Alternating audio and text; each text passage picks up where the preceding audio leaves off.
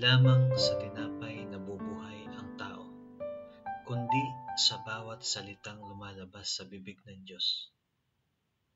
Ito ang kargado, kung saan ay hayaan ninyong basahin ko ang Ebanghelyo sa araw na ito upang maging gabay at lakas natin sa pang-araw-araw na buhay. Maging kargado man tayo ng pagsubok at hamon sa buhay, magagawa nating lampasan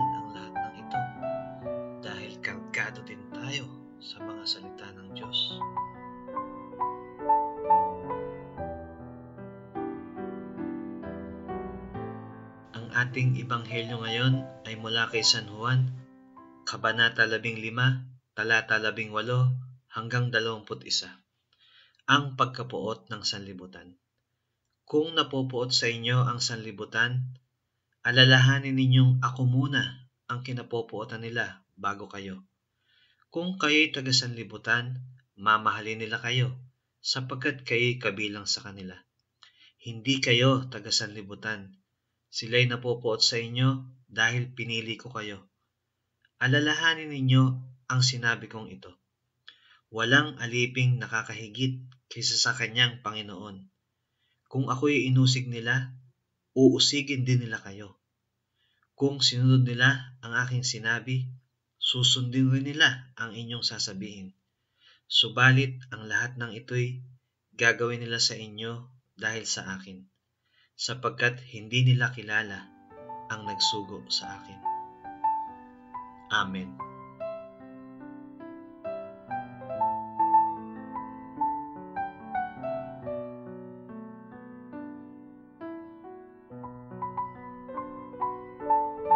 Manalangin po tayo.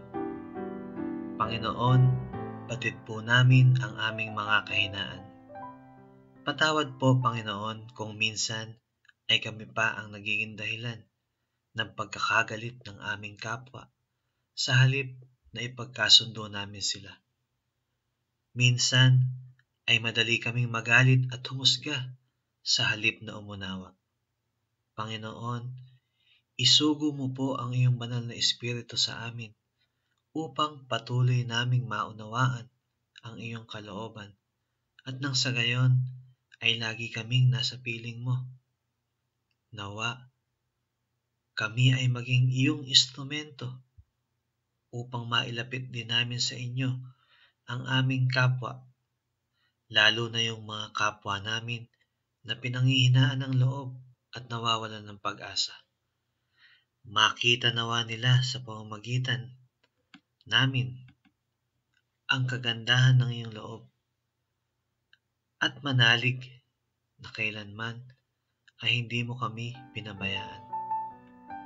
Ang lahat ng ito ay hinihiling namin sa matamis na pangalan ni Jesus